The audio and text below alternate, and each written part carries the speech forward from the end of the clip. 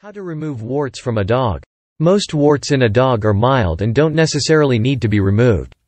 1. See if this growth is a wart. Dog warts or sebaceous gland cysts are actually benign skin growths that appear in a dog when he gets older, just like moles in humans.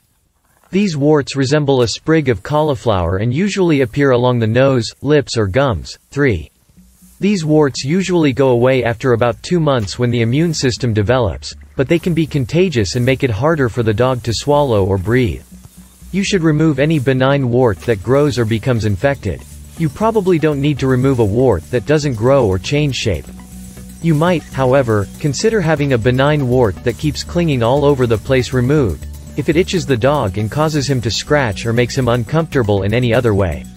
The dog's vet can also advise you whether to remove the wart or not.